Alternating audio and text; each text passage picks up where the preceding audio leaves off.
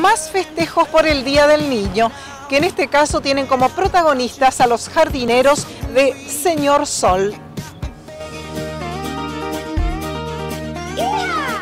Agosto, el Día de los Niños, estuvimos festejando acá en el jardín con, con el turno mañana y el turno tarde.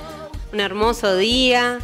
Eh, bueno, los niños llevaron sus regalitos, merienda compartida, inflables. La verdad, un muy lindo día para festejarlo. No es una eh, de las no es solamente una de las actividades del mes de agosto, hicieron otras cosas también. En el mes de agosto tuvimos una charla con una psicopedagoga. Nos parece importante en el jardín eh, poder brindar este servicio también, porque no, no, se trata solo de cuidar al niño, sino también de, la educación. Y, bueno, en esta oportunidad tuvimos una charla que eh, se trató de los límites desde la educación emocional. Y bueno, era para los padres y para el personal docente del jardín. Así que una linda charla que nos sirvió a todos eh, y que sacamos muchas cosas productivas, ¿no?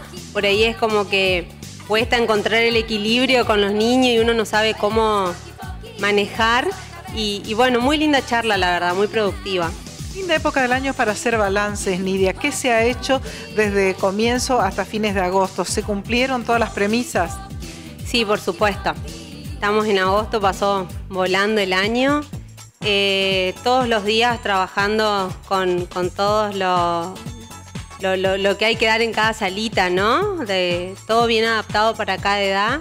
Y por supuesto, siempre festejando las fechas especiales, eh, con muchos proyectos, todavía nos quedan unos meses por delante, pero más que positivo y satisfactorio.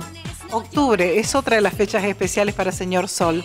Exacto, estamos trabajando para la fiesta del Día de las Familias que vamos a hacer en una quinta, al aire libre, nos parece una, linda fecha para compartir eh, con la naturaleza, con las familias, así que estamos con eso, ya les vamos a estar avisando bien las fechas y van a estar todos invitados, por supuesto.